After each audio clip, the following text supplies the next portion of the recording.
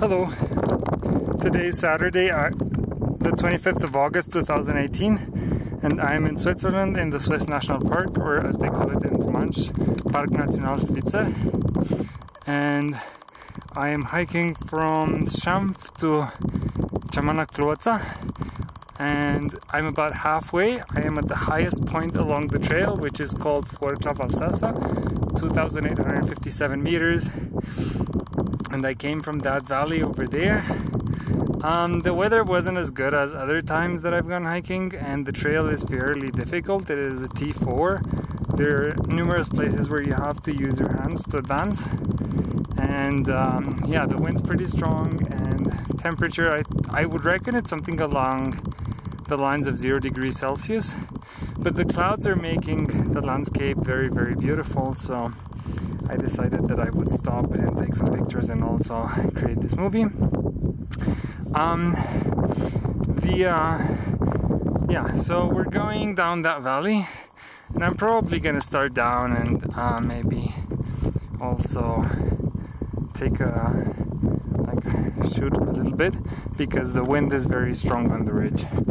So there's uh, this valley lies to the north, so, so there's still a bunch of snow up there uh, but not nothing to worry about too much. And that point, that peak up there is 3,000 meters, I think. And I don't know what that lake is, but um, it looks very beautiful. So yeah, I can't believe the summer is almost over. Uh, it's gonna start snowing, I think, in late September, so I have like three or four more weekends left to go hiking, like in summer conditions with no and then it's gonna start getting cold again. But yeah, everything's super beautiful out here, and I'm very glad that I took advantage of this weekend. Um, okay, my hands are starting to freeze, so I can no longer feel them. Um, so I'm gonna stop filming here, but you know the drill. So that's the high point where we came from. Um, that is Fuorcla at 2,850 meters. And as you can see, we've made quite a bit of progress. We've crossed that bit of firn.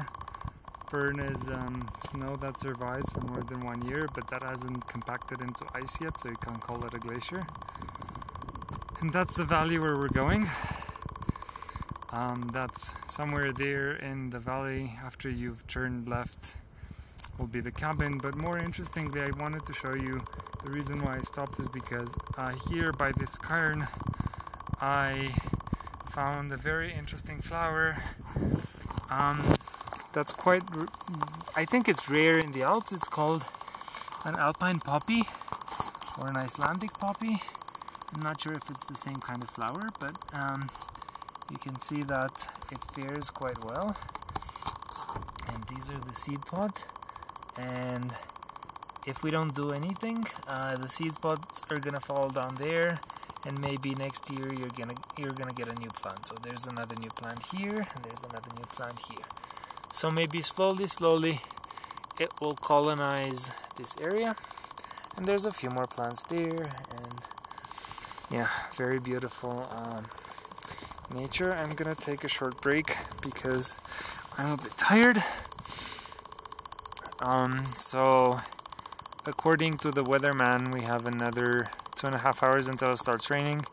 But if it starts raining when I'm in the valley, I'm not so worried because um,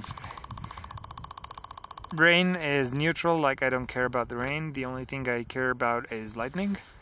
And a lot of people die struck by lightning in the mountains, particularly if they're high and if they carry metal implements with them, like my trekking poles.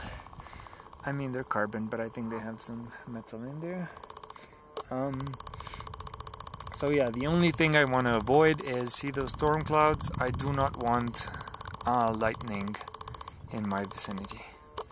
So um, normally, just before a storm, you're gonna hear um, some hissing in the air, and that's just the static electricity.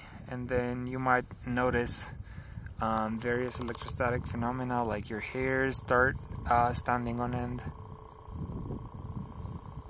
like that. So um, I haven't I haven't detected detected any of those yet. So even if it does start raining, then it most likely will not um, have lightning. But we will see. I don't. I don't think. Like you can still see the sun, sort of. It's out there, um, and it's shining, but it's just very weak. But I'm not super worried. There's a ton of snow in this valley because it was facing north, and um, and the sun reaches it um, only during noon, so it doesn't melt as it should. Okay, I'm starting to get cold again, so I'm gonna get going again. See you later.